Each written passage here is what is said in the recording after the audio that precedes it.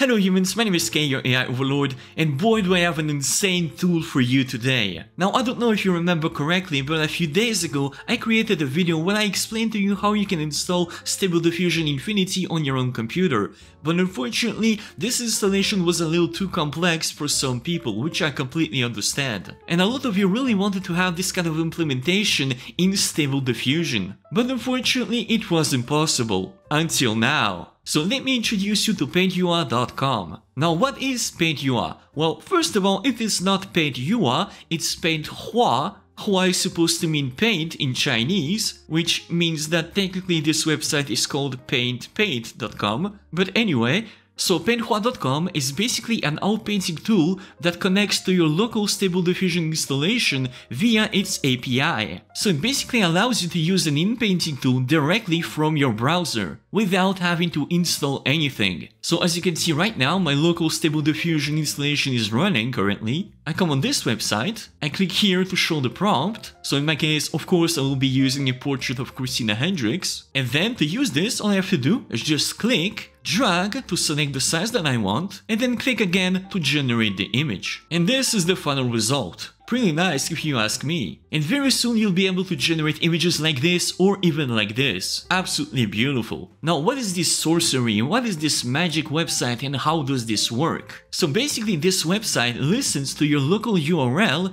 that your local installation of Stable Diffusion uses, and then it uses the resources of your computer to generate the images. Now to be able to make this work is actually really really simple. First, what you need to do is make sure that you're running the latest version of Stable Diffusion, and for this you have basically two solutions. Either you click here on your folder URL, type cmd, press enter, this will bring up the command prompt window, and here you're gonna type git pull and press enter. And this will update your Stable Diffusion installation. And the second way is right click here on your WebUI user bat file, edit with Notepad, and here right above call webui.bat line, you're gonna put git pull, and then you're gonna save the file. This way, each time that you launch Stable Diffusion, it will automatically update the folder. And then to be able to make the website work, you're gonna come here and type dash dash API right after command line ARGS. And this is basically the only thing that you need to do in order for the website to work, which is actually really really cool and very simple to do. Now here's a little update for you. Uh, unfortunately, the latest update of Stable Diffusion actually broke the ability for the website to connect, but all you have to do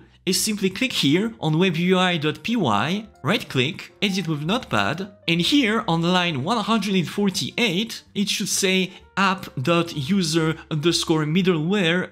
And what you want to do is that you want to put this sign right here, just in front of the line, you want to comment this, and then you're gonna save the file. If you don't do this currently, this will not work. So make sure you do this correctly. And then all you have to do is simply launch Stable Diffusion. Then you're gonna select your local URL, Ctrl C to copy it, paste it in your browser, and then you will be in your Stable Diffusion web UI. Then you're gonna click on Settings, Scroll down, make sure that the apply color correction to image to image results to match original colors is unchecked, otherwise you're gonna have very visible difference in colors. Then make sure that here in your quick settings list you have input the inpainting underscore mask weight, which if you don't know what this is, you should probably watch this video that I will put in description down below. Don't forget to apply the settings, then make sure that the inpainting conditioning mask strength is set at 1 otherwise it will not work, and then make sure that you have selected this special inpainting model. I will leave a link to this model in the description down below if you don't have it already. Then you're gonna come on the website painthua.com and then it should automatically detect your Stable Diffusion installation and you should be able to generate an image immediately. So again, just click, drag to select the size, and then click again to start generating the image. And as you can see, it is now using my Stable Diffusion installation to generate this image. And this is the final result. Now before I start explaining all the tips and tricks that you need to know in order to have the best results, let me actually go through all the settings that you see right here. Now first, before we actually begin playing around with the settings, if you want to increase or decrease the size of your canvas, now you need to know that compared to the infinite canvas, this is technically not really infinite. Your canvas is actually represented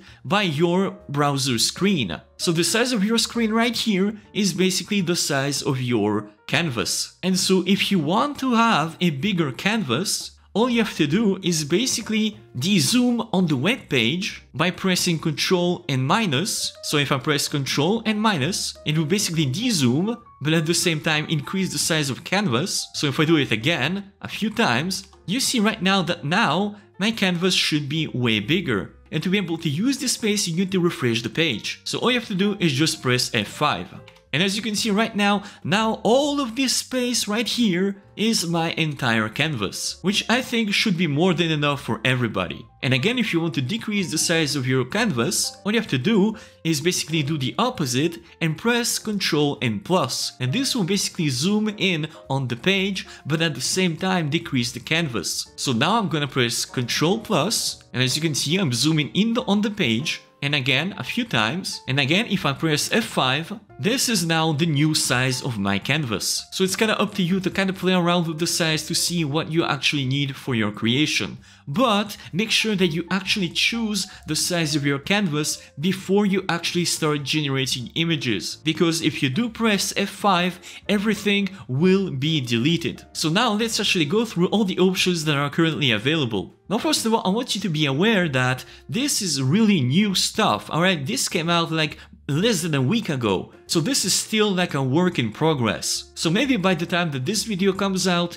new things might have been added or might have changed, which is why I will put the link for the GitHub and the Discord server down in the description down below, so that you can always stay up to date with the latest changes. So one of the most important window right here is called help. If you click on this button right here, you will basically see an entire overview of all the options and what you need to do in order to make this website work. And as you can see, it has even been updated today because it says right here, the latest Stable Diffusion update actually breaks the website. And it also gives you a few tips and tricks that you might want to know before you start using the website. Okay, so the first option right here is your prompt. If you click on this button right here, here is where you basically input your prompt. So for it to work correctly, make sure that your prompt is between those quotation marks. Do not delete them, otherwise it will not work, obviously. And what's actually great is that it will actually keep in memory the last prompt that you used, probably by using cookies, but this is actually really, really cool.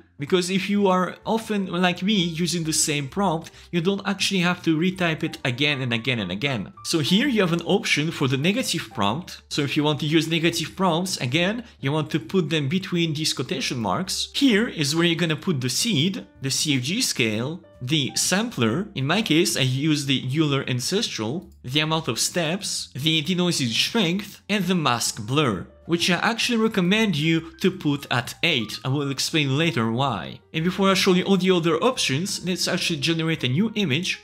So as I showed you, to generate an image, all you have to do is just left click, then you can select the size of your image. You can just, you know, drag and select the size that you want, and then you can simply click to generate an image. But if, for example, you have misclicked, and you want to cancel this selection, you can simply right click and it will cancel your action, as you can see right here. But what I want is actually to generate an image, so I'm gonna left click, then drag to select the size that I want, and then left click again. And this is the final result. Now here, as you can see, we have a bunch of options. Now to be able to continue outpainting, you need to click here on this button right here to accept the current generation, or you can actually either cancel to delete everything right here or click on this button right here to generate a brand new image. So for example, if I click on this button, it will actually start generating a brand new image. And now using the buttons right here, you can actually choose which one you actually want. So the previous generation is not lost, it is still here if you want to select it. All you have to do is just, you know, click previous or next to choose the image that you want. And then let's say that I want this one, and then click on this button right here to accept the current image. And as you can see, now we are free to do another generation. Also, if for example you want to erase the image, you can right click, you're gonna have this option right here that says erase, and you need to basically drag to select the size that you want. And if you want to erase part of this image, you can simply left click and it will basically erase the part of this image, as you can see right here.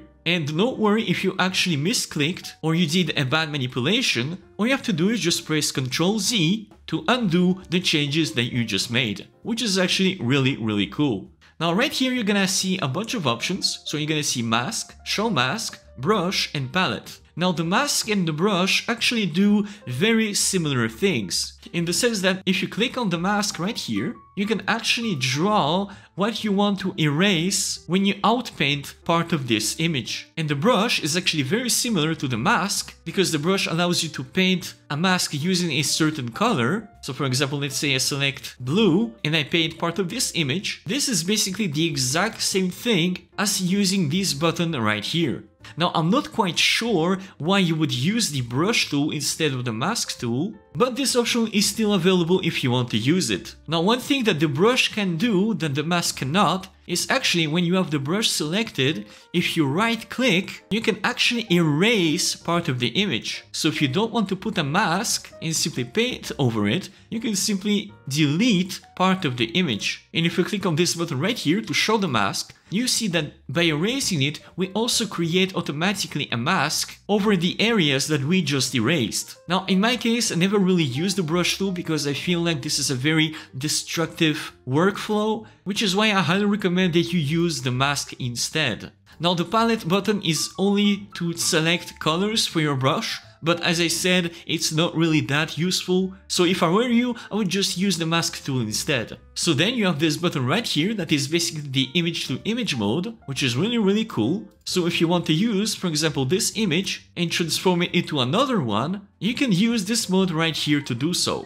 But do not forget that if you want to use this mode, you need to come to your prompt and then play around with the denoising strength. Otherwise it will completely replace the current image. So for example, let's say I want like 0.35. Let's say I want instead of Christina Hendricks, I want Scarlett Johansson. And then if I select this image right here, and then click again to generate, this is the result that I get. Which is, well, definitely pretty pretty good. But no offense to Scarlett Johansson, I still prefer Christina Hendricks. Like, come on now. So then you have these buttons right here, which is basically to undo, Control Z, Auto Redo, exactly like in Photoshop. So for example, let's say that you erased part of this image, and you're like, oh my god, no, I shouldn't have erased it, you can click on Ctrl Z to undo it, and maybe you change your mind again, you're like, oh well, maybe I should erase part of this image. Then you can simply click on this button right here to redo your action. Then you have these two buttons right here, Ctrl C, Ctrl V. So Ctrl C will basically copy the entire canvas a Ctrl V will paste it at the center of the canvas. So for example, if I click Ctrl C, it says canvas copy to clipboard, and then I click on Ctrl V, it will basically paste the image at the center of the canvas. So if you want your image to be centered, for example, well this is a pretty good way to do it. But in my case, I will just go back to the original one. So here you have the config option, which basically allows you to manually change the size of the canvas and the selection, but I prefer actually doing it with the Ctrl plus and Ctrl minus, I find it a little bit easier. Here, Ctrl S is what you need to use if you want to export the final image. So if I click here, Ctrl S, it will basically export the entire canvas. And this button right here, the grid mode, if you leave it selected, it will basically always position your selection into a grid. It will follow the grid precisely. But if you leave it unchecked, you can actually use your selection freely. So if you want to have a little bit more freedom on where you can put your selection, you should definitely then have this mode disabled. Now in my case, I kinda like having a grid mode, so I'm just gonna leave it on. And then this button right here, Control O, is what you use if you want to open a previous canvas or open an image that you generated previously. And this is actually what I'm gonna do. I'm gonna first start by erasing this image. Don't worry, I actually saved it. I'm fine. And I'm gonna click on this button right here to import a previous image that I generated on this canvas. And there you go. Now, as you can see right here, you might be a little familiar with the style that was used on this image. Because if you watched yesterday's video, I showed you how you can actually use a special Stable Diffusion model trained on Disney images. And if your question is, can you actually use your own model in this installation? The answer is actually yes, absolutely. So compared to Stable Diffusion Infinity, where it was actually pretty difficult to do it, all you have to do if you want to change the model is just go back to your Stable Diffusion web UI and then select it in your Stable Diffusion checkpoint. So here I'm just gonna select the special Disney style model that I showed you yesterday. I'm gonna put in my prompt the modern Disney style, which is the three words that you need to use in order for the model to work. Make sure that your denoising strength is high, I'm just gonna put one for an example. I'm actually just gonna erase this image right now, and then I'm gonna left click, drag to select the size, and then click again to generate the image. And here is the final result. Looks absolutely beautiful. So yes, if you want to use your custom model on this website, you can actually do it. But do not forget that if you actually want to have good results for outpainting, you should definitely select the special inpainting model. Otherwise, you're not gonna have the best results. Now here's actually a little trick for you. If you actually want to create this kind of images, but you also don't want to have weird results between the images, you can actually create the base image using your custom model, and then draw a mask between the images select the special inpainting model, and then paint over these lines using that special inpainting model. This way, actually your images will be linked together pretty well with no visible seams using the special inpainting model. And speaking of seams, as of right now, it is not perfect when it comes to seams if you just use it as is, but there is actually a little trick that you need to use in order to make the seams completely invisible. Now first, in your prompt, make sure that the value for your mask blur is 8. It will actually help a lot with the final result. And then, let's say that you want to actually outpaint part of this image or part of this image right here. What you need to do is that you need to select the mask button and you're gonna have to basically draw a mask on each border. So for example, since I want an image right here, I need to make sure that these borders right here are invisible. So I'm gonna draw a mask over these borders. Same here and same here. Then I'm just gonna modify my prompt. Then right here I'm gonna start by selecting the corner, dragging it to the size that I want, and then I click again to generate the image. And everything that you see right here will be outpainted using the special inpainting model. And as you can see right here, this is the final result. And if I click on accept, you can see that there is absolutely no visible seams at all the final result is just absolutely perfect. And then again, if I want to do the same for the other side. And there you go. And as you can see, this is the final result. Absolutely insane. What a gorgeous image. And all of that in a few minutes. And then do not forget, once you're done, click on this button right here to save it on your own computer. And there you have it folks, now you should have absolutely no excuses to not use outpainting tools on Stable Diffusion. And in my opinion, I actually do prefer using this website over Stable Diffusion Infinity. It is way easier and way faster to use. And all of that without any installation required. Absolutely fantastic. And there you go. Thank you so much to my Patreon supporters for supporting my videos. You guys are absolutely awesome. Congratulations also to this week's AI Art Challenge winner, The Golden Smith, for his fantastic, cute, and creepy submission. Really, really cool. Well done. And if you too want to participate to our AI Art Challenge that we do every week on Discord, you can click the link in the description down below to join my Discord server and maybe you too can be featured in the next video. That being said, thank you so much for watching, don't forget to subscribe and smash the like button for the YouTube algorithm, and I'll see you guys next time. Bye bye!